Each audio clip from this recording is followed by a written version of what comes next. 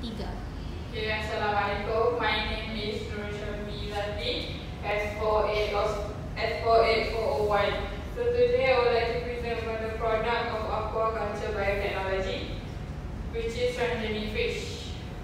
So what is transgenic fish? Transgenic fish is a fish with a gene has been transferred into through genetic engineering.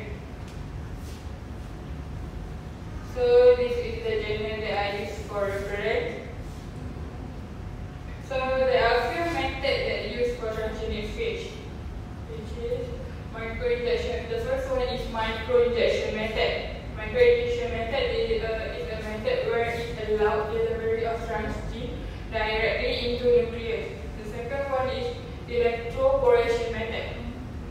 Uh, this method uses a short electron pulse to permeate the cell membrane have possibility to form a formation of temporary form on the surface of target cell, through which the transgene is, is introduced into cytoplasm where it is then delivered to the nucleus by the cellular machinery.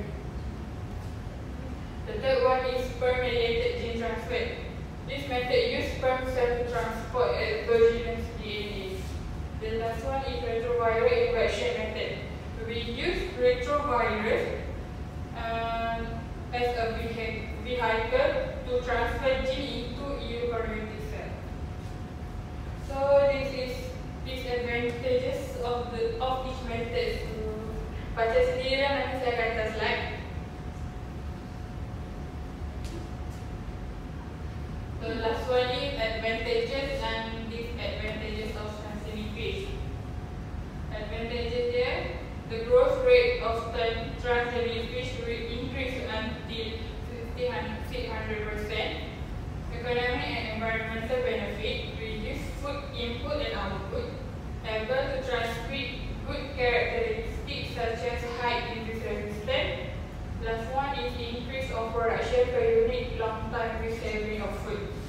The disadvantages are the transgenic fish will produce new protein or modified protein that can be harmful to human.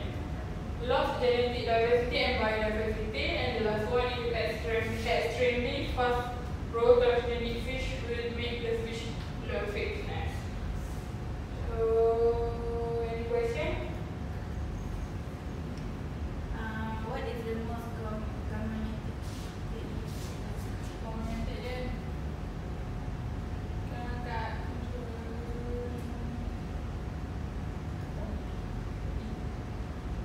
akan tulis bebas baca slide ni dia akan tulis yang ni dia kelemahan dia time consuming ya maknanya dia lama sikit. Tapi method ni paling banyak orang guna sebab dia tak leceh.